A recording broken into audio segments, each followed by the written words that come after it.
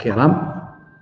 آه، آه، أود في هذه الحصة أن نتطرق إلى المحاضرة الخامسة التي تحمل عنوان الحركة السلفية نموذج السنوسية إذا سبقت الإشارة في الحصة السالفة في حديثنا عن الوهابية كحركة سلفية من خلال منطلقات هذه الحركة آه، من خلال آه، آه، دورها في شبه الجزيرة العربية وأيضا الصراع الذي حصل بينها وبين الدولة العثمانية. وعموما هي حركة متشددة شيء ما مقارنة مع باقي الحركات السلفية الأخرى خاصة مع الحركة السنوسية في نهاية المطاف تمكنت الحركة الوهابية كما قلنا في من تكوين دولة سعودية بتحالفها مع الأمير السعودي. إذا في هذه الحصة آه، سأقف مرة أخرى عند دائما عند الحركة السلفية آه، لكن خارج منطقة الشرق أو شبه الجزيرة العربية في اتجاه بلاد آه، شمال إفريقيا. الأمر يتعلق بدولة أو بلاد ليبيا. اذا بطبيعة الحال آه، آه، السنوسيه آه، حركة سلفية هي أقرب إلى الحركات الصوفية. أول ما يميز هذه الحركة أنها انطلقت من الزاوية في منطقة صحراوية بعيدة يعني بعيدة عن أعين الدولة العثمانية. وهذا المنطلق بطبيعة الحال جاء نتيجة آه، ظروف تتراوح بين أسباب وظروف طبيعية يعني المجال الصحراوي الصعب ظروف سياسية بطبيعة الحال يعني وجود عثماني داخل آه، البلد. آه، ظروف بطبيعة الحال ثقافية وأسباب دينية. تتمثل في انتشار آه، الجهل وانتشار عادات وتقاليد مخالفة للتعاليم آه، بطبيعة الحال الدينية. إذا آه، في ظل هذه الظروف ظهرت بطبيعة الحال الحركة السنوسية كحركة لها منطلقات دينية إصلاحية تروم إخراج المجتمع من الوضعية المزرية التي كان يعيش فيها على مختلف آه، أو في مختلف آه، المجالات. وبالتالي كان كانت الزاوية هو المكان مكان اللقاء الذي يجمع بين آه، جميع الذي يجمع بين جميع آه، الذين يتقاسمون نفس رؤى هذه آه، الحركة. إذا آه، قلت الحركة السنوسية تبقى عموما كحركة سلفية صوفية عموما معتدلة جدا سواء داخل الوسط الذي ظهرت فيه أو في علاقتها مع بلدان الجوار. وخاصة في علاقتها مع الدولة العثمانية.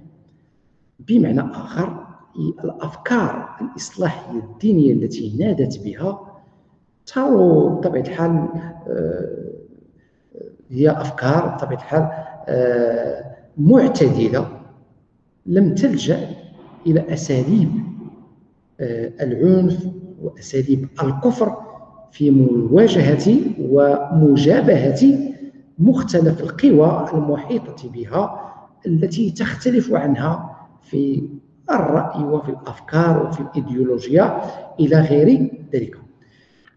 هذه الميزات التي التي آه تميزت بها الحركة السنوسية ساعدتها في مد نفوذها نحو مناطق مختلفة من ليبيا من جهة وباقي البلدان المجاورة من جهة ثانية بمعنى آخر تمكنت من تأسيس قرى من تأسيس عفوا زوايا في إفريقيا جنوب الصحراء وكثر أتباع هذه الحركة بشكل كبير. بطبيعة الحال ثم مسألة أخرى مسألة أخرى تميزت علاقة السنوسية مع الدولة العثمانية بنوع من الاحترام المتبادل في إطار سياسة السلم بمعنى آخر الابتعاد عن كل الأمور والقضايا التي قد تثير عليها الدولة العثمانية. إذا هذه السياسة المعتدلة التي نهجتها وتبنتها الحركة السنوسية ساعدتها في تلقي كل أشكال الدعم من قبل الدولة العثمانية على شاكلة آه، مثلا تخفيض الضرائب وإعفاء الزاوية من آه، الضرائب وفتح المجال لهذه الحركة أيضا.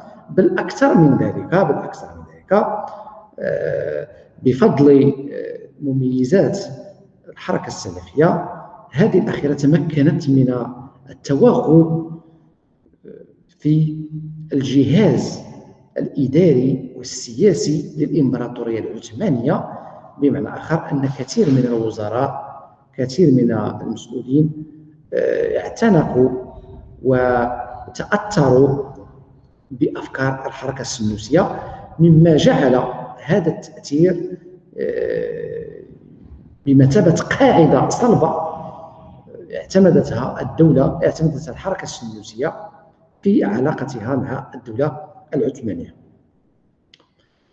بطبيعة الحال آه، آه، بطبيعة الحال ثم أيضا مسألة أخرى الحركة السنوسية على غرار وعلى شاكلة الحركة الوهابية.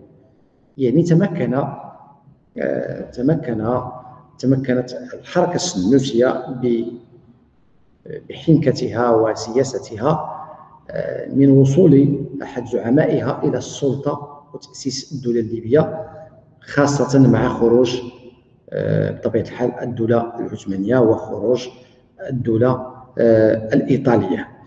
آه، أود أن أشير في هذا الأمر أن ما أن ما عكر صفو العلاقات السندوسية الدولة العثمانية هو الخروج المفاجئ للدولة العثمانية من ليبيا والذي اعتبره الذي اعتبرته الحركة السندوسية بمثابة تسليم للدولة الليبية في إطار الاستعمار الأوروبي. وهذا الأمر أثار قلق الحركة السندوسية التي شنت هجوما على الدولة العثمانية باعتبارها دولة إسلامية دولة حافظت على استقلال البلدان العربية لمدة آه، طويلة لكن الواقع واقع المرحلة تغير كثيرا لفائدة القوى الأوروبية على حساب جميع القوى أو الدولة آه، العثمانية. آه، إذا اكتفيت في إطار الحركات السلفية وهي كثيرة في آه، في التركيز أكثر على الحركة الوهابية والحركة السنوسية. بمعنى الأولى في شبه الجزيرة العربية العربية والثانية في شمال إفريقيا. وهذا الاختيار اولا لاختلاف المنطقة ثم لاختلاف الايديولوجي لاختلاف آه، التوجهات والأفكار التي ميزت الحركتين السلفيتين.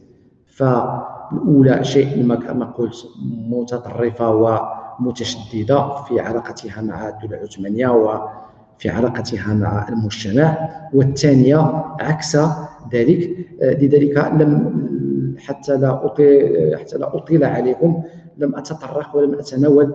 الحركة المهدوية هي نفس الشيء حركة سلفية لها نفس الأفكار لها نفس لها نفس التوجهات منطقة بعيدة هي الأخرى آه، آه، تميزت بنوع من الشدة وتميزت بنوع من الغرور. في تعامل زعيم الحركة المهدوية مع المصريين ومع الإنجليز ومع الدولة العثمانية آه، في المحصلة. وحتى أتمكن من آه، الختم في هذه في هذا المحور وهو المحور الأول الخاص بالحركات السلفية يعني في إطار الإصلاح. يعني الحركات السلفية جاءت لكي تصلح المجتمع والخروج بهذا المجتمع من وضعية مزرية إلى وضعية أحسن بمعنى الأمر يتعلق ب الأمر يتعلق بالحركات السلفية أي الإصلاح من داخل ومن زاوية السلف الصالح. إذا يتضح من خلال ما أشرنا إليه سابقا أن الحركات السلفية بشكل أو بآخر لعبت دورا في آه، القيام آه، بواجبها آه، من خلال الدعوة إلى محاربة كل القضايا والأمور التي التي توغلت في جسم المجتمع خاصة تلك المخالفة للتعاليم الدينية الإسلامية. لكن في نهاية المطاف آه، ما ينقص بعض الحركات السلفية أنها تركز في برنامجها الإصلاحي على ضرورة الرجوع إلى السلف الصالح دون الأخذ بأسباب أخرى للتطور والتقدم خاصة أن هناك معطى جديد داخل الساحة الدولية والحضارية داخل الساحة الدولية عفوا. الأمر يتعلق بحضارة أخرى قوية حضارة غربية.